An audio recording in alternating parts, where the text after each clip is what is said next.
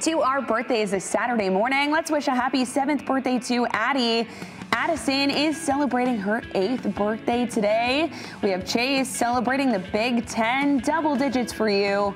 Happy first birthday to you, Enzo. We hope you have a special day. Liam is turning eight years old today, and we have Maggie celebrating her eighth birthday as well. Another Maggie is celebrating her eighth birthday. We hope you have a wonderful day. And Matt is also turning eight today. Lots of eight year olds. And Brady is turning 17. Happy birthday, Brady. We'll celebrate your child too. Send an email to mornings at fox17online.com with their name, age, birth date, and photo, and we'll be sure to celebrate them right here on our morning show.